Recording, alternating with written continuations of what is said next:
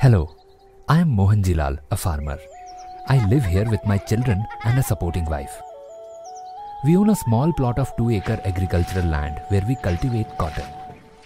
Life has not been so easy for us.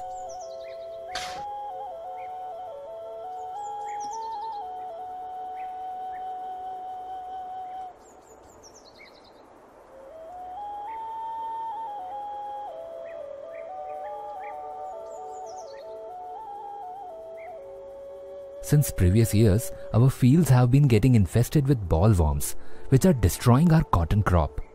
This year, we have been working extra hard and giving more sprays of pesticides to save our crops. I wonder how relaxing and assuring it would be if my crops are fully pest free this year. Finally, I would be able to save for my family's future.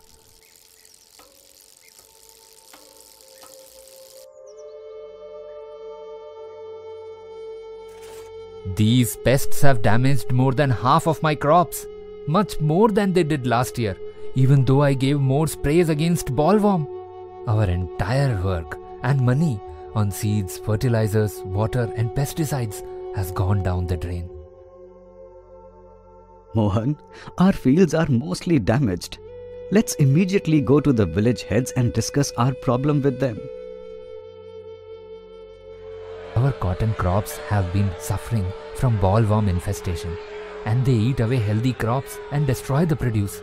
Farmers like us have incurred heavy losses in spite of all efforts. Everyone, calm down. Maybe if we consult a scientific expert about this problem, then we may find a solution.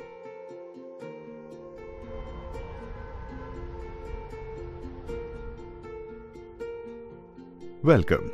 I am Dr. Patil, an agricultural scientist. Doctor, we are facing the increasing problem of bollworm infestation, even after increasing the usage of pesticides. Okay, first let me explain something about the pests and the pesticides. While pesticides do kill these pests, but with repeated application over the years, the pests develop resistance to the pesticides, which makes them ineffective. This is true for any pesticide used against any pest, including, for example, the malaria causing mosquito.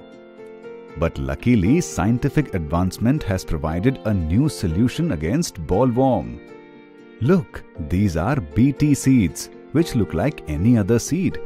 These are nothing but technically advanced GM seeds, which are capable of fighting the bollworm, saving the cotton crop from pest damage. Let me further elaborate on the use of GMO seeds and their benefit. All the organisms in this world possess small structures called genes that determine their characteristics like shape, size, color, etc. BT seeds have been modified by adding a new gene that enables cotton plant to resist bollworm attack. This gene is taken from a bacterium living in soil called Bacillus thuringiensis, BT. BT bacterium is known for a long time to kill some pests and it is used as sprays on crops. The gene which provides the property of killing bollworm is inserted in the plant using the genetic engineering technique, much different from conventional breeding involving cross-pollinations. The only difference in the cultivation of GM and non-GM crops is that you need a strip of non-BT seeds around the BT fields. This is called refuge. It prevents the insects from becoming resistant to BT and eating the BT plants. This area can be subjected to insecticide sprays as recommended. By adopting BT seeds, your insecticide consumption will decrease considerably but you need to use insecticides for other pests as BT crop is not resistant to every insect and pest. For best results, follow measures such as need-based application of insecticide sprays for other pests and adopt good cultural practices like keeping the field clean of cotton stubble and crop leftovers and ploughing of land after harvest so that the resting stages of the insects in the soil get destroyed. Are these seeds expensive? Yes, but the seeds will give you 40 to 50% more production and reduce insecticide use by 30 to 40%, which will make your cultivation more profitable. Doctor, I have one more question. Can eating BT cotton leaves affect our cattle? No, the BT toxin specifically attacks bollworms and related insects. No other animal, including cattle, sheep, goats, or humans, are affected by it.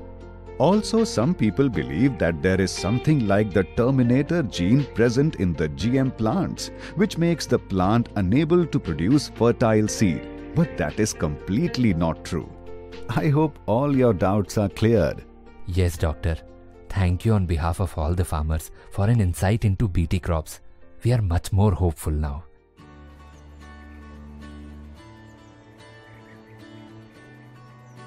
Plants have started attaining height with healthy flowers and fruits. Thanks to BT seeds, there is no sign of any infestation.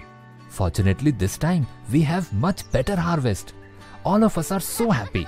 Thanks to Dr. Patil, after a very long time, we finally had an educative and fruitful experience.